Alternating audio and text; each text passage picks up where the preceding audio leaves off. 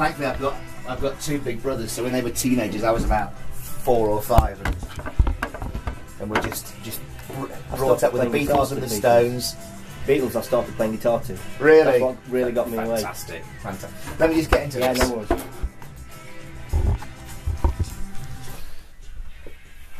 They are. You know who that is, don't you? You know what the song's called? Don't need to be here, do I really? Uh, eight minutes past three, it's Nick Piercy here at BBC Radio Oxford. Now, creating their own take on traditional folk, Ferocious Dog take the traditional instruments, and fiddles and whistles and mandolins, and kind of mix them all up with a bit of a raw buzzsaw attitude to rock and roll. Don't take my word for it. Have a listen to Slow Motion Suicide. Oh, there we are. Oh. That's a very quiet intro there. That's very. Let me just let me just do that again, and intro, introduce ferocious dog with slow motion suicide. Why is that not working? Oh, it's because it's got about a three second gap at the beginning. That's why. Sorry, what happened? There was a three second silence at the beginning of the track, so I didn't think anything was playing. Always, This is always played somebody else. songs, but this is the. Luckily, we did this as a radio edit. Oh, okay. The the best bit of this song is the instrumental right at the end. Yeah. it's out I- of this world. I won't talk over it then. No, this is a very short one because it's half of it is singing, another half is the instrumental, Yeah, yeah, which makes it twice as long. Oh, right, I've got three you. minutes singing, yeah, yeah. three, so it's over six, it's going seven minutes. Oh God. Um, so how does it, so how does it sound then?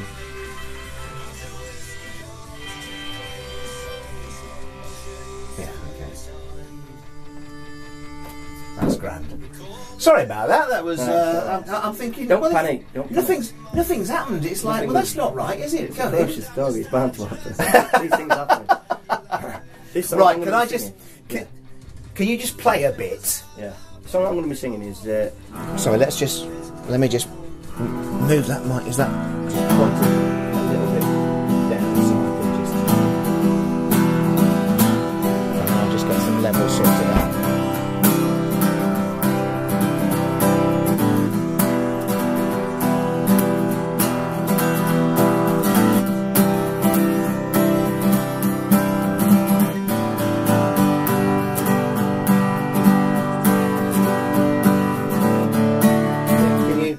You sing a bit as well then? Had a fight in my head today, and I stand in my life now, can't you see?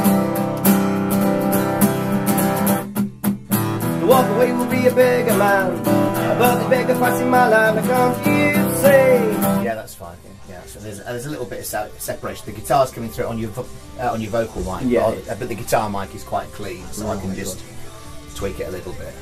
Well, this one we picked, it, it was written about my son who died. Yes, Just I've coming got back from Afghan, so. I've got I've got that Right. to to, uh, to talk about if that's all right. So, So uh, we do it for Lee Bonsall Memorial Fund. Yeah. We set up in his name, and we donate massively to combat stress. yeah, well, yes. So if you, yes, I if you like like to put that in as well, Yeah, combat no, stressing, 'cause yeah, we yeah. work hand in hand with them. I've got that I've got that all in my questions. You're all right. You're all right. Any other questions? What? what this is the worst Oh no bit. no no no no no no no no no no no no! No heads up, man. Heaven forbid. So it'll Get- get short. because it's just what I, uh, the way I do it. I always, you know, it's like we met in Costa. Yeah. And I said, "What do you do?" Oh, I play guitar. I come from Sheffield, and yeah, yeah, I do this and do that. And I go, "Do you really?" And we just carry on from there. None of this, you know, oh, it's deep and meaningful, whatever. It's just, it's just a chat. What and some, sometimes it's, you will say something, and I'll, and I'll go, "Hang on a minute, that's, I, I need to talk about that." So that's all. So. Uh, There we go. There we go. There we are. That's Ferocious Dog and Slow Motion Suicide. Let's welcome Ken Bonsall to the studio. Ken, good afternoon. Good afternoon. How are we doing? All right. That, that isn't folk music. That's like good old fashioned rock and roll. Well, it is, but there's an extended version that uh, plays lots of fiddle and banjo. And Oh right, okay. We we This is a radio edit. we. it's a, it's well, it's a good job. We're a we're a radio station. and where did all this music start then? Was it yeah when you were a lad or what? Yeah, I, I think uh, growing up I into the the Pogues and things like that, and I was brought up heavily on uh, traditional Irish music, so that's had a, a big thing in the way that I write music, want to perform Yeah. music. Yeah. My, my son's a, a really good fiddle player from being you know eight year old growing up classically trained, but really just a Oh, good brilliant. fiddle player. So Yeah, fantastic. You have a you have quite the story because you because you were born and raised in a mining community. yeah, that's Which- right. and particularly at well at the wrong time for mining communities. Yeah, um, leaving school in 1984, my family were on strike till end, especially in North Notts. You know, it, Yeah. to, to stop on strike was uh, uh, you know, really, really hard. So what? So what was the day to day life like then for a family and a, you know, a youngster just just leaving school like yourself? In Notts, it was horrible because it, it was more like a police state, just walking around our pit villages. People can't really understand unless you were there what it was like in Notts or, or the coalfields in North, or you know, uh, it, it really wasn't a very good time. So I think that's what comes out in a lot of my songwriting, political wise. You know, Right. You can see that. So you, so you were a miner then Yeah, for 30 years. for thirty years. Yeah, coalface. I, I finished at the last coal mine in Kellingley in North Yorkshire. That the last coal mine to be short, uh, last year, so that was a very hard, uh, hard time. See all my friends up there as well. Hmm. So yeah, How long have you been playing music then? 30 years. All right, let me let me let me rephrase that. How how long have you been making a living out of playing music? Well, well, I won't say making a living out of it. Uh, Well, hang on, you were, you were at Glastonbury last week. Yes. Stop yeah. it! Did you say you know? Come on. Yeah, uh, I should really big it up more, I? But yeah, it, it's a, it's more of a, a way of life because you go from a transformation of uh, being a cover band and, and just enjoying music, and then taking it serious and writing your own albums, and seeing how far you can take it. And it's quite odd because we're not a signed band. We said we'll never sign to a, to a label. We're going to do it all ourselves. Right, so you're using SoundCloud and just the internet and and, Yeah, and, and and cra- crowdfunding things like that. I suppose. Yeah, there's own promotion and, and all the gigs, the money goes back into the band, so we don't pay ourselves wages from it. You know, everything is to promote. Up until now, Yeah. we're getting to where we're at some kind of level where we can. It, it's that one where you you're taking it You're like, oh, serious. oh, should I, should we? Shouldn't yeah, we? and that's a good feeling. That, Yeah, that's what we've been working towards for a long time, for probably the last five years of these two albums that we've But that, out. but that keeps you on your toes, surely. oh yeah, it keeps Because focused. because well, because it is sink or swim, I guess. It definitely is. You know, and uh, especially with, with the other lads in the band who've got younger kids. I mean, luckily my, all my children have grown up. Yeah. So, uh, but it, it is one of them. It's quite hard, and you've got to be focused. You, you've got to really want it in, in the music industry to, to do it the way that we're doing it. yeah. But at least we have the, the full control of the band in the end to write which what is, we want. yeah, which is Yeah. good. Um, you're going to play live for us. You've got your guitar Yeah. with you. But um, first of all, the song we played was called "Slow Motion Suicide." It's quite quite the title. Tell us, tell us, if you will, the story behind it. It really tells a story about the miners' strike and about the demise of these northeast villages, especially in probably yeah Northumberland, where there was nothing. If, if you ever go up to Northumberland, you see like you know Easington and, Ashington and these pit villages. From one minute, from a man being a, a breadwinner and so proud, then he loses everything, and you know he ends up having to look after the kids, and it's an odd thing for them to cope with the complete change in their lives and they can't find jobs. And I watched a documentary on it, so I knew what they were talking about. So I just had to put pen to paper and write about what it felt like to be one minute so proud, working on a coal face, a working class hero, as you like, Yeah. and then to have nothing and have lost everything, and then you know you see the the children turning to drugs in the street because there's no hope, no future, everything's closed down in in the pit villages. It, it just to capture that feeling of what it was like in in the pit areas Yeah. yeah. after the, losing the strike, the demise, I suppose. Um, it seems, you know, to, to me and to people listening, I guess, just a just a really strange way to be brought up. You know, you, when you're a kid, when you're in your teenage years, but also uh, when you're a dad, you you, know, you suffered tragedy as well.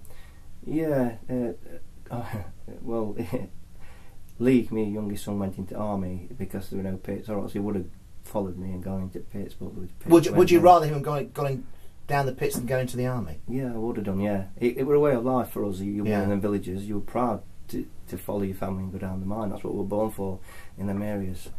But for him to come back from Afghanistan and, and he suffered with PTSD, and Which is which is Post-traumatic post-traumatic stress, stress disorder. disorder, Let's yeah. just explain that And to people. there's a documentary if people would like to see more about it uh, done on Panorama. You can still find it on YouTube called Broken by Battle.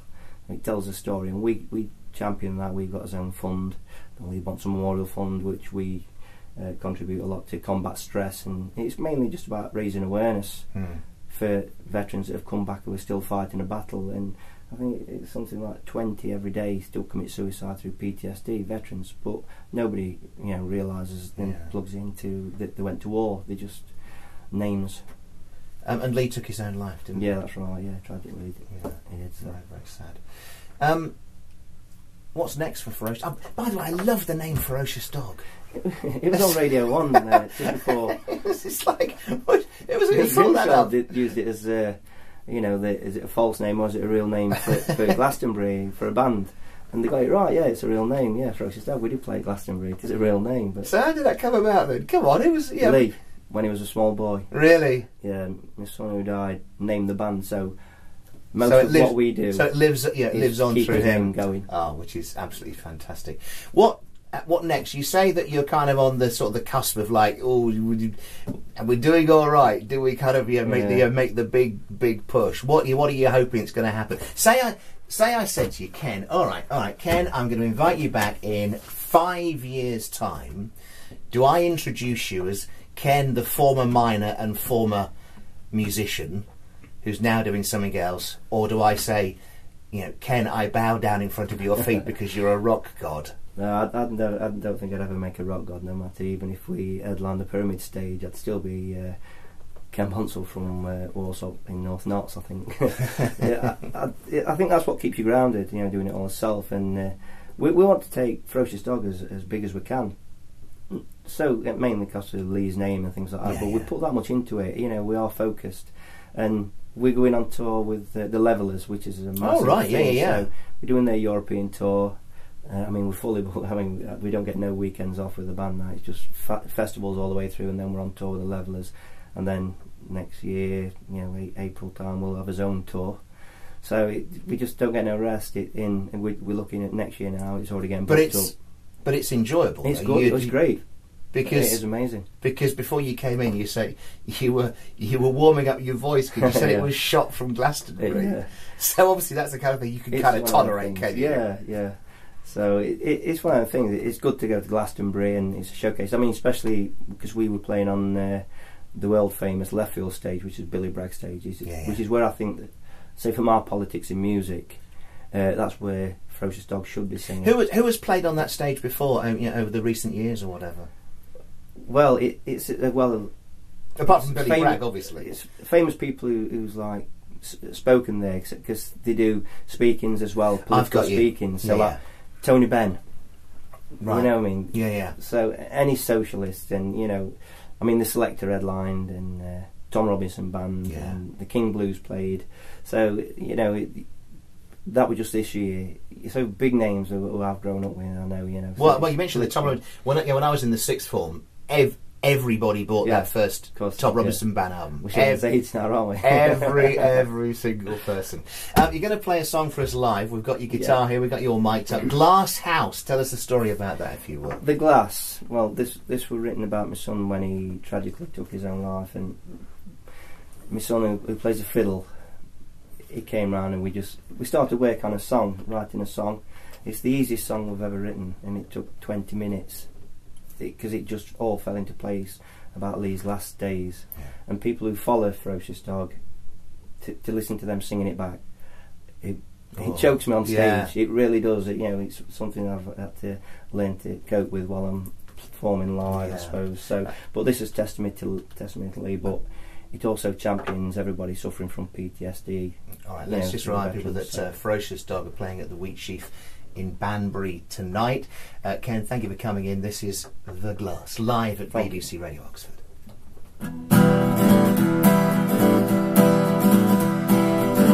Had a fight in my head today, and I stared in my lap. Now, can't you see? To walk away will be a bigger man, but the bigger fight in my life. Can't you see?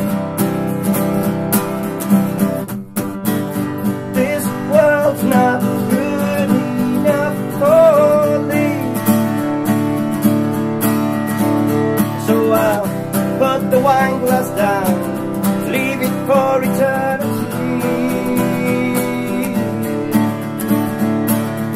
I went to fight in a foreign land, and now I'm finding my depression fights with me.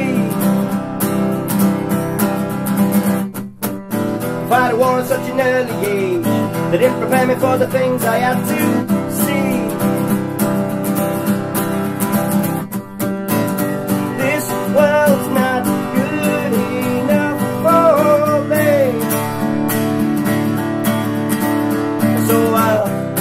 the wine glass down and leave it for eternity.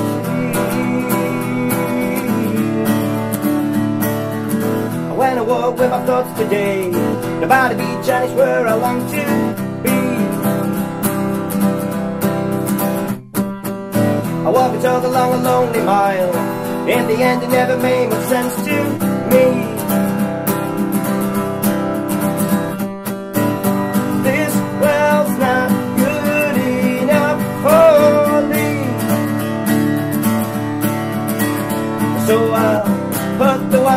down, leave it for eternity.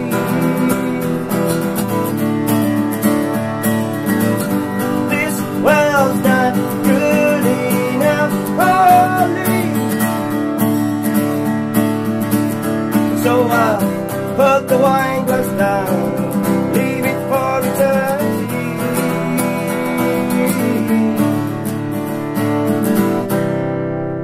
Put the wine glass down leave it for eternity.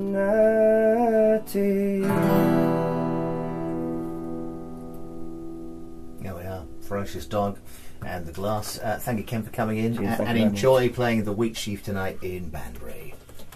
Just get me travel out of the way. Tomorrow night. Nikki, what can you tell us about the roads of Oxfordshire? Thank you for that. as you It's tomorrow night. directions towards the Oh, was it tomorrow night? Yes, roadworks It's, things oh. down Don't- I can see Shut up. I'll- looking heavier. I'll correct that out of the, out of the trailer out of the uh, ad. So I've got I've got tonight I've got tonight the Wheat Sheaf right in front of me. You've got delays on Thank you so much. Thank you.